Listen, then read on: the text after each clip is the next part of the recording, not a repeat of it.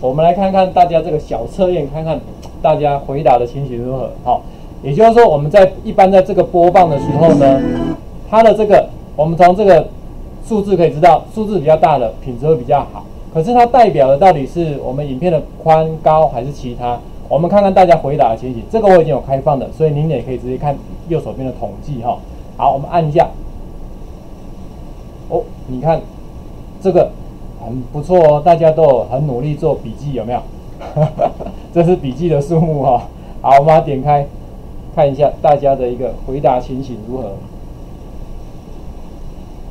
嗯，应该不会那么慢，再一次。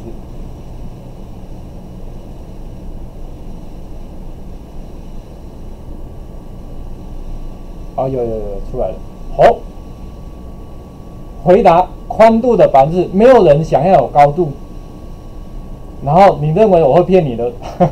竟然有这么多人，其他你觉得它代表什么意思？因为好像回答比较多，你觉得其他代表什么意思吗？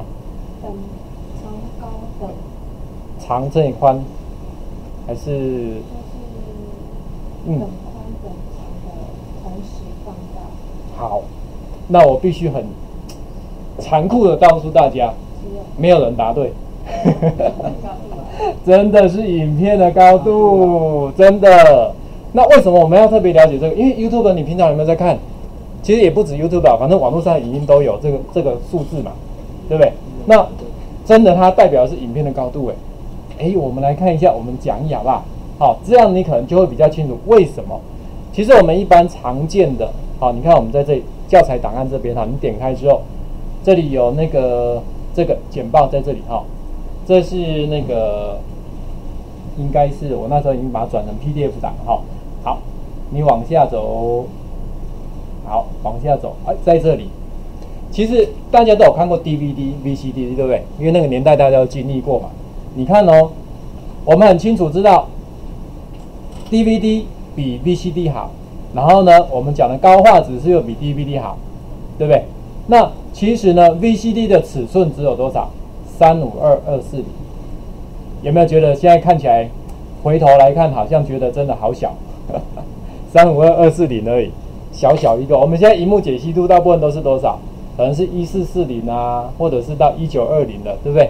好，那 DVD 呢，只有七二零乘以四八零，所以也算不错啦。那么如果是 HD，我们一般讲的哈，HD 它有分两种。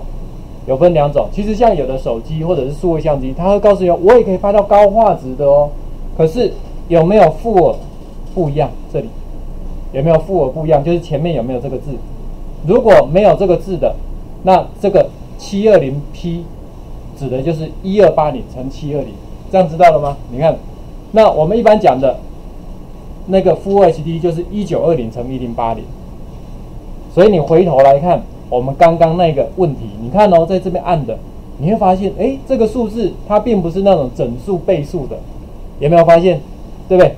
那如果我们真正到 YouTube 上去找找，我们去找什么？去找那种有比较高画质的。我刚刚那个还不是很好，比如说这个好了，看这个会不会有比较高画质的？好，我们看这边，哦，这个很少，有没有？哎，二四零。那你有没有发现，我们刚刚的讲义里面哪一个有二四零的？有没有发现这是 VCD 的？所以你看品质是蛮差的，对不对哈？因为有有些人他他录下来就是他可能用比较低模式的哈。那我们找找这个，这个是好，这个哦，看起来好像有不一样，有没有？有没有发现后面是什么？是七二零一零八零，然后只要高于七二零，有没有加一个 HD？哦，这样就大家就了解，其实影片的格式，其实我们生活里面实际上就有用到，只是你可能没有特别去注意到而已，对不对？这样还没做会做影片之前，要先了解影片格式嘛。好，所以我们利用这个机会呢，再跟大家稍微做个说明。事实上，它后面这个 P 代表是这样子啦，好，就是隔行隔行扫描的。那其实还有一种是 I 的，好，一种是 I。那一般来讲，这个大部分我们现在看到的都是 P。那么在 YouTube 上，它现在有支援到 4K 的，有部分影片有 4K 的，有 4K 的，所以你就会看到它那个数字在更高。好，比如说我们找看看有 4K 的，有 4K 影像的这个。好，你看哦，在这里有没有发现很可怕？可是这是高度哦。一般来讲的话，哈，因为呢，我们进到了这个 HD 以后，原则上都是多少？像我们现在看电影一样，是几比几？是十六比九。好，一般我们现在大部分荧幕都是十六比九的居多吧。